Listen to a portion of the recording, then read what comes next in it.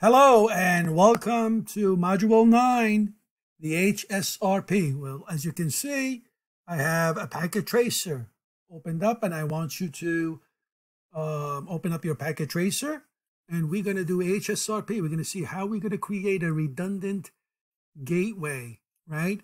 So grab, just to let you know, grab a 29, uh, 2901 routers, one here and one there then you can grab uh, 2960 switches, one there, three PCs, and all straight through cables. Connect the cables to any port, it doesn't matter. This port, this one to G00, this is to G00, this is to G01, and this is to 01. It doesn't matter which ports you connected here. Of course, on the PCs, you want to connect them to um, port, the fast Ethernet port, okay? Um, you can write, I just wrote down this whole thing is going to be 192.168.10.0 slash 24 network. And this network on the other end is going to be 172.16.0 slash 24 network, right? This default gateway is going to have dot one, and this default gateway is going to have dot two. All right, and the PC is going to have dot three. In fact, I did that already. I want you to go in here and type that in, right? Once he's going to have dot two. Um, the mask is going to be slash 24, okay?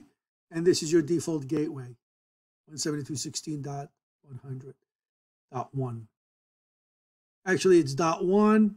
And um, anyway, so if it's going to go this way, it, if we lose the connection here, you're going to be able to be rerouted this way, I guess.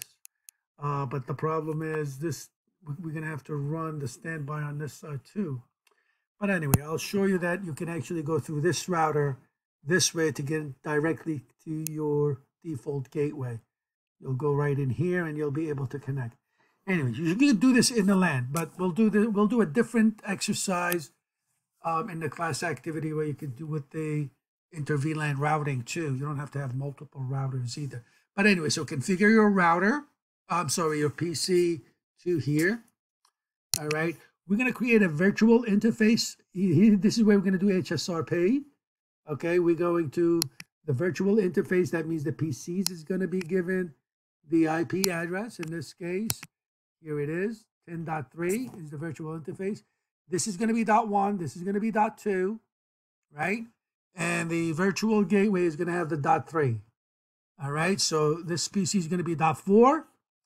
This PC right here is going to be dot five with the same virtual router interface, gateway interface, right? So they send their, when they want to ping PC2, they send their um, ping echo request to the 10.3, which is the virtual gateway and the virtual gateway will pick who's active and the active one will send the information directly. All right, so do all of that. And when you're all done, let's go to router one and let's start configuring it. All right, this is what you do. All you have to do, okay, say now after it's been booted, enter, enter, type en, config t. All right, as always, no IP domain lookup. All right, let's give it a host name on one. All right, let's go to the interface G0 slash 0. That's this interface right here. And let's give it the IP address 192.168.10.1 uh, with a mask up 255, 255, 255.0. All right, let's um, Let's do a stand by one. And the IP, which is the virtual interface, is going to be 192.168.10.3. Right, so that's the virtual interface. Now I want to make this router to be the active one. So I'm going to say stand by one, and I'm going to give it a priority. Let's say 150, right?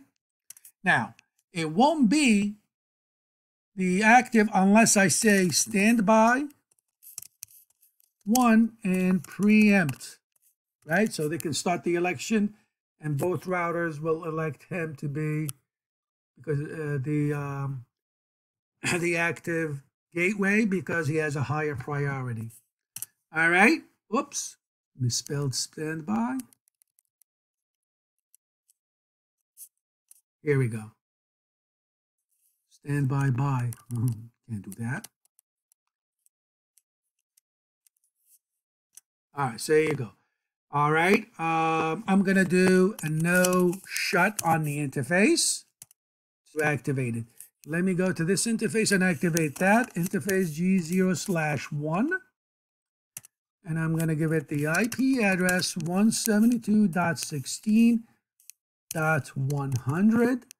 172.16.100.1 with a mask of 255, 255, 255.0. I do a no shutter on that as well. All right, now I got to move to router 2 and pretty much see now it became active and this is first it went to standby and it became active. It doesn't because I haven't even configured this guy yet. All right, so you can configure them now. So let's configure him.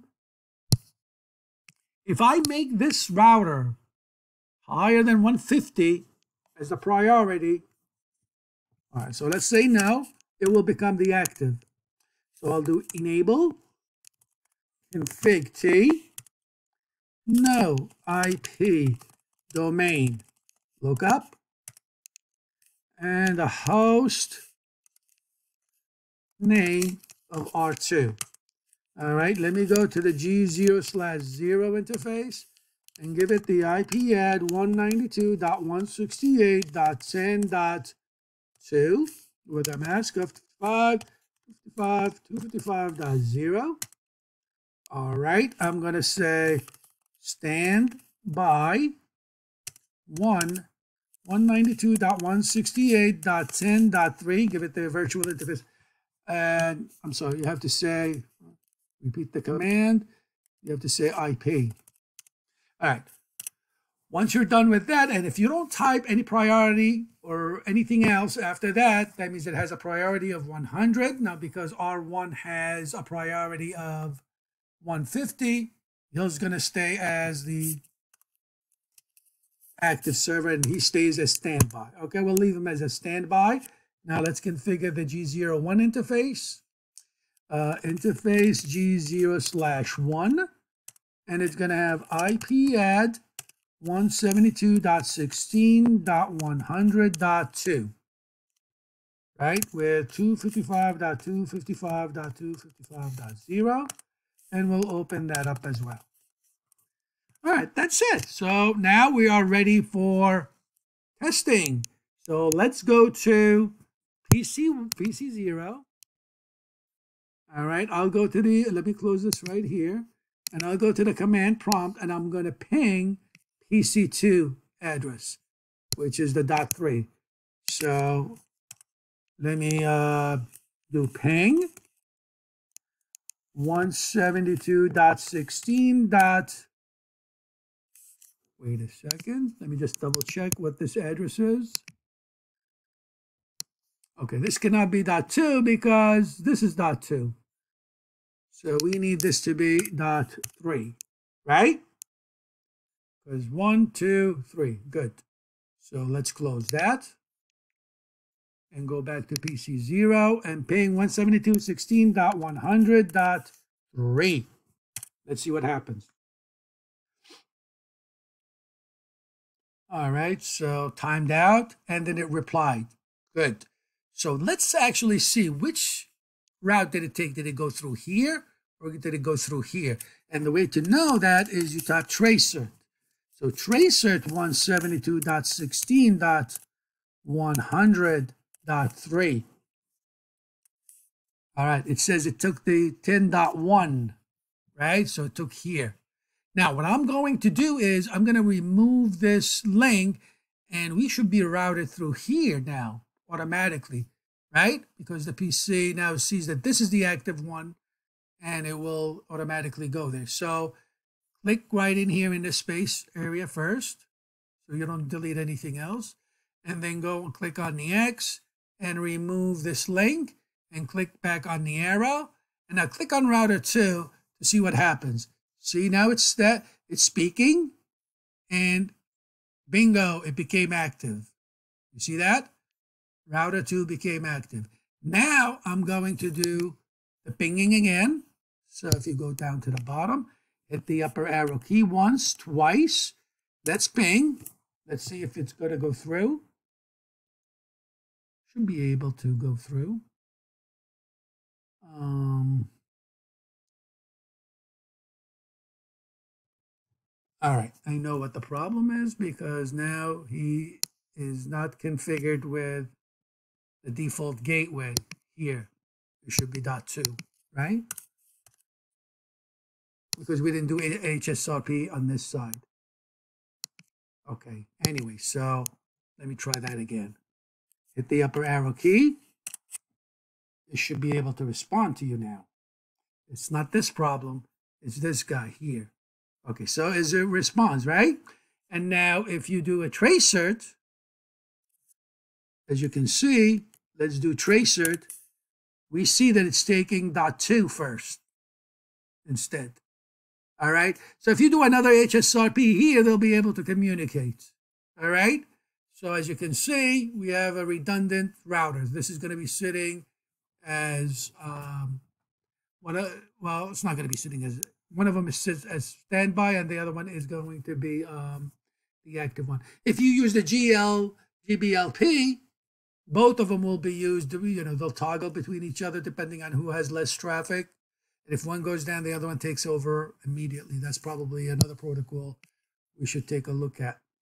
All right, so that's it. Save your uh, packet tracer file and upload that as homework. And I'll see you on the next video.